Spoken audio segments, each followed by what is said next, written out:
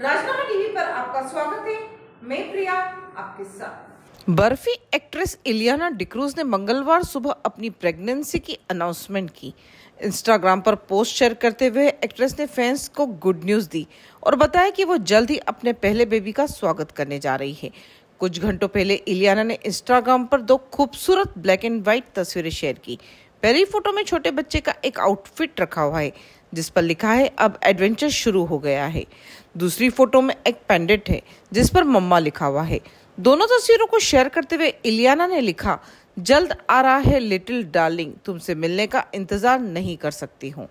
इलियाना की इस फ़ोटो पर उनकी माँ समीरा डिक्रूज ने अपने ग्रैंड चिल्ड्रन के आने की खुशी ज़ाहिर की। उन्होंने लिखा, इस दुनिया में तुम्हारा जल्दी स्वागत है। माई न्यू ग्रैंड बेबी तुमसे मिलने का इंतज़ार नहीं हो रहा है।